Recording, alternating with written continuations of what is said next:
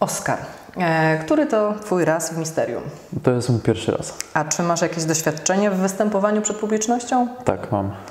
Na przykład? Jestem rekonstruktorem. Super! To pod jakim względem? Grupa rekonstrukcyjna ASG czy jakaś historyczna? Historyczna. Super, i co robicie? Mm, ostatnio no właśnie dużo rozgrywaliśmy rekonstrukcji na temat I wojny światowej, na Wszystko temat stulecia niepodległości. Mhm, więc jakieś doświadczenie. Czy myślisz, że to pomoże Ci w odgrywaniu Tak, misterium? przełamać taki lęk przed wystąpieniem na większą skalę. Mhm. A no właśnie, teraz misterium, a droga krzyżowa, bo no, te wydarzenia, które będą przedstawione, zawsze są obecne na drodze krzyżowej. Czym się dla Ciebie to różni? Jaką specyfikę ma to przedsięwzięcie?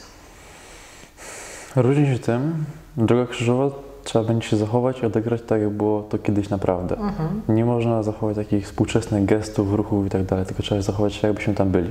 Mhm. A mm, no właśnie, Ty jesteś e, aktorem biorącym udział w niespodziance również, a więc jakby nie dotyka e, Ciebie tak bardzo wydarzeń, wy, te wydarzenia, które są związane z, z męką, e, z drogą krzyżową. Czy e, uważasz, że mimo wszystko e, może mm, cały udział w misterium mieć wpływ na Twoje przeżywanie Wielkanocy? Tak, i to ogromne. Bo trzeba przyznać, że naprawdę scenariusz w tym roku jest bardzo mocny. Bardzo dotyka współczesne problemy, które są powszechne no, w prawie każdym domu. Rozumiem. Nie zdradzimy jakich, ponieważ to niespodzianka, ale serdecznie zapraszamy.